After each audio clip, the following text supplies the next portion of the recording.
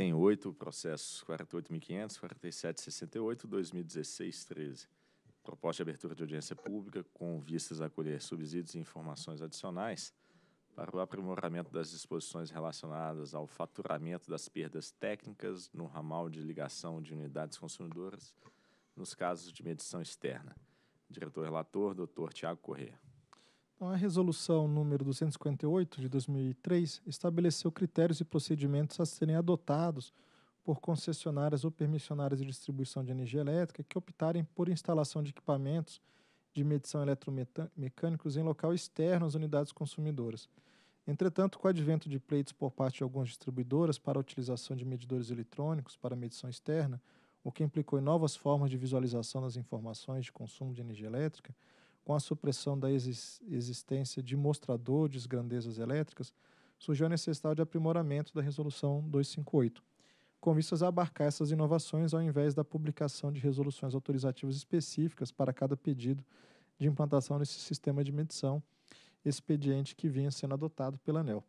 Nesse contexto, foi publicada a Resolução Normativa 292, de 2007, que estabeleceu alterações na Resolução 258 e definiu novos critérios e procedimentos relativos à implantação de medição externa de sistema de medição centralizada ou de sistema encapsulado de medição. Posteriormente, as regras foram incorporadas na Resolução Normativa 414, de 9 de setembro de 2010.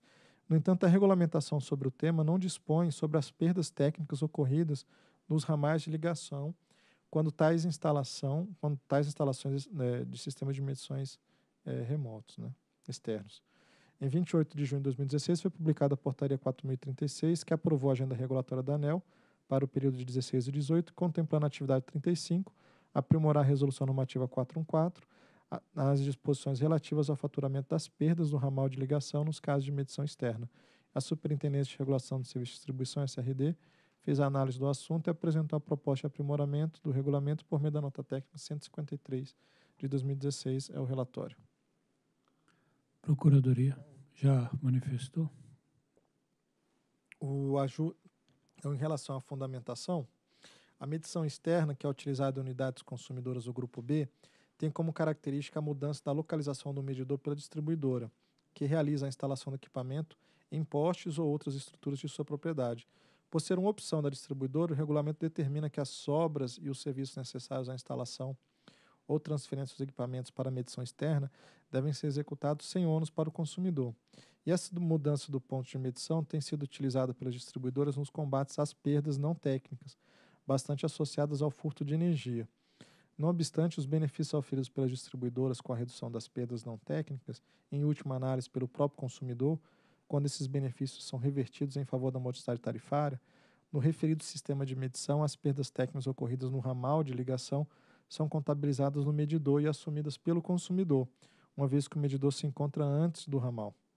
De forma análoga aos custos de instalação e transferência, como a mudança do ponto de medição é prerrogativa da distribuidora, entende-se que as perdas técnicas devem ser ajustadas como se a medição fosse de forma convencional. Essa medida visa guardar isonomia quanto às perdas técnicas ocorridas nos ramais desses consumidores, com as perdas dos demais unidades consumidoras que possuem o medidor instalado a jusante do ramal de ligação.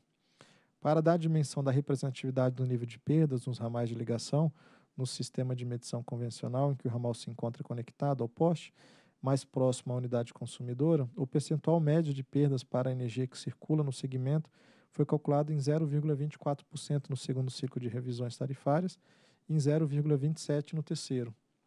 Contudo, em algumas configurações de medição externas, essas perdas podem chegar a valores que, da ordem de 1,5%, em face da maior extensão dos ramais. Então, diante dos argumentos expostos, que justificam a elaboração de procedimento para ajustar as perdas técnicas aos ramais associados à medição externa, foram avaliadas no formulário de análise de impacto regulatório duas alternativas. A primeira é de definir o montante de perdas por meio da aplicação do método de cálculo similar ao adotado pela ANEL no cálculo de perda de distribuição, regulamentado no módulo 7 do PRODIST.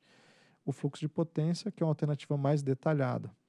A outra é definir o percentual de perdas a ser aplicado sobre a energia mensal medida das unidades consumidoras, considerando o comprimento e a resistência do ramal de ligação, bem como a tensão de fornecimento alternativa mais simples. Conforme detalhado o, na avaliação do custo-benefício constante no referido formulário, Avalia-se que a primeira opção seria mais adequada, por apresentar custos relativamente baixos, muito similares ao da segunda opção, e com benefício de maior precisão na obtenção dos montantes de perdas de ramais. Aqui, na verdade, o custo é o custo de você incluir no sistema de medição a perda. Né? Então, você vai poder fazer isso com base no cálculo daquele ramal ou com base no cálculo médio. Mas o método de cálculo também não é muito diferente. Eu, eu, você acaba olhando a quantidade de, de, conexões, o comprimento, a resistência, né, se tem três fios, quatro fios e assim por diante. E então se opta pela, pela o método mais detalhado, porque é aquele que, que melhor reflete o custo e dá também um sinal de eficiência para a distribuidora também não optar por soluções que deixam a medição muito distante. Além da Resolução Normativa 414, a regulamentação proposta implica em alteração do procedimento de cálculo das perdas de distribuição, que é o regulamento que é regulamentado no módulo 7 do PRODIST. Assim, aproveita-se essa alteração para também se propor mudanças com o intuito de esclarecer acerca das perdas ocorridas nos transformadores que atendem unidades consumidoras em tensão primária, com equipamentos de medição instalados no secundário e de perdas em rede constantes do plano de incorporação de redes particulares e que ainda não foram transferidas para a distribuidora. Como a distribuidora acrescenta na fatura do consumidor as perdas do transformador, esses equipamentos não devem ser considerados nos cálculos das perdas de distribuição. Atualmente, essa diretriz já consta do Manual de Instrução para o Preenchimento de Dados Necessários ao cálculo de perda. Portanto, a exceção desse texto no módulo 7 visaria apenas explicitar esse atendimento. Nesse sentido, também seria inserido no subitem 2.2.1, que visa deixar claro que as perdas na rede constantes do plano de incorporação de redes particulares ainda não transferidas para a distribuidora não serão consideradas no cálculo de perdas, uma vez que o prazo para incorporação dessas mesmas expirou em 31 de dezembro de 2015.